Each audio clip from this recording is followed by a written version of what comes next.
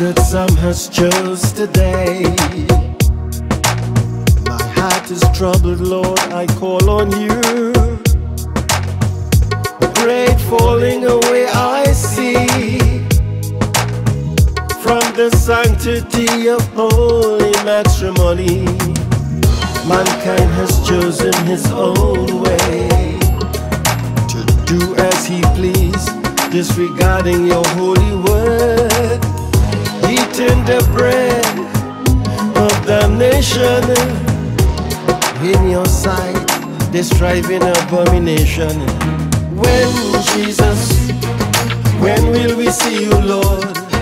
Waiting with anticipation, waiting for you to come. What you have joined together has been put asunder more than ever before. Lord, we need you now. From the bottom of my heart, I plead with you, Lord. Please give me strength to face another day. What I see coming through the airwaves, we just got to be living in the last days. Family values gone out the door. Children no longer their elders. Violence and crime seems to take over. Conflict after conflict with our neighbors. When Jesus, when will we see you, Lord? Waiting with anticipation, waiting for you to come. What you have joined together has been put asunder more than ever before.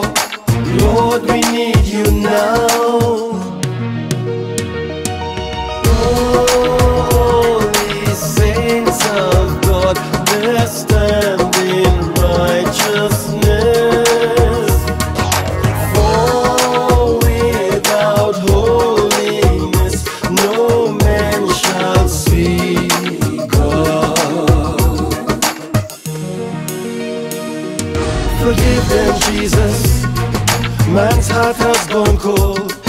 I see the walls of confusion brewing in our land. Lord, we need deliverance from wicked and cruel hands. So I'm sending this message, Lord, by your command. Today, harden not your heart as in the provocation, in the day of temptation in the wilderness, where your fathers tempted me, proved me, and saw my works forty years. Help me, Jesus, as I song this alarm, blowing the trumpet in Zion, pleading with sinners, come home.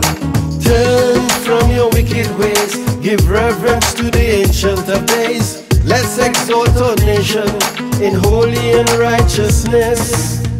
Wherefore, I was grieved with that generation and said, They do always error in their heart, and they have not known my ways. So I swore in my wrath, they shall not enter my rest.